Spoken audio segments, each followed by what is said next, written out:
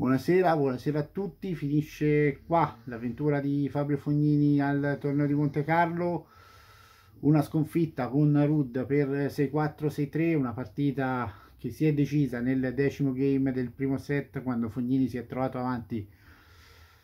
40-0, ha commesso tre gratuiti di cui l'ultimo, quello del 40-30, veramente di un centimetro e purtroppo lì eh, Rud ha ripreso il game eh, e dopo aver ripreso il game ha fatto il break e poi è scappato via 3-0 nel secondo set. Fognini era riuscito annullando 4 palle del 4-0, quindi nel secondo set ha rischiato seriamente di finire sotto 4-0. Ha annullato le 4 palle break, è riuscito a controbreccare Rud, eh, a gangiarlo sul sul 3 pari eh, poi sul 4 a 3 Rud ha ceduto il, nuovamente il servizio e Rud è andato a servire per il match. Fognini ha avuto la palla per, per, per tornare nuovamente in partita ha sbagliato un dritto e, e Rud poi ha chiuso con un nastro out di Fognini nastro che ha trascinato la palla out e quindi Fognini è fuori dal torneo di Monte Carlo.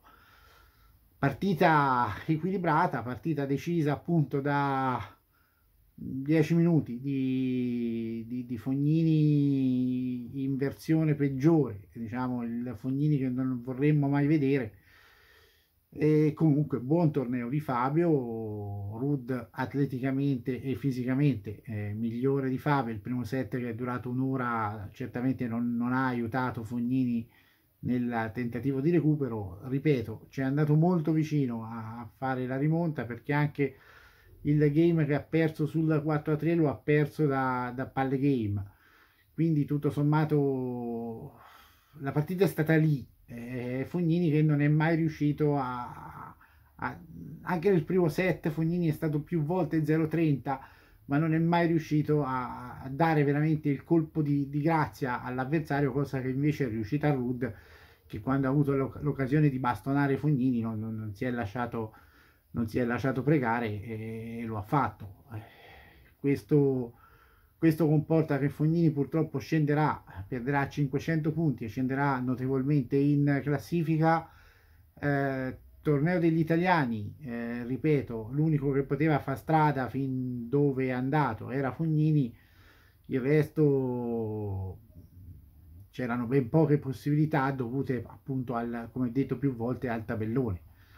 E negli altri due quarti di finale Zizipas ha vinto con eh, Davinovic Fochina per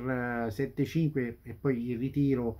dello spagnolo che si è fatto male sul tre pari del, dell'unico set, non del primo set ma dell'unico set giocato.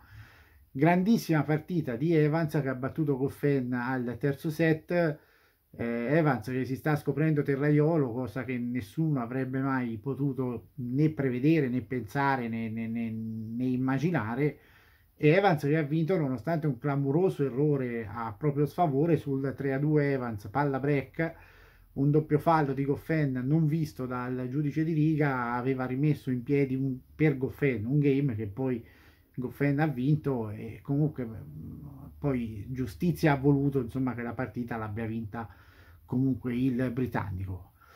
Aspettiamo Nadal che a questo punto visto anche la concorrenza rimasta è, è il netto favorito del torneo. Cioè mi, sarebbe veramente sorprendente che Nadal non riuscisse a vincere Monte Carlo Nadal che gioca con Rublev sarà una gran partita ve la commenteremo anzi ve la commenterò è inutile parlare al plurale, sono solo, eh, ve la commenterò subito dopo la fine. Intanto un applauso comunque a Fabio Fognini che eh, da detentore si è spinto fino al venerdì monegasco e vedendo la forma non era affatto semplice. Domani esce il tabellone di Barcellona, quindi gli italiani sono finiti, ma lunedì ne abbiamo molti a Barcellona, seguiremo comunque anche senza italiani, ripeto Nadal, seguiremo le semifinali, seguiremo la finale,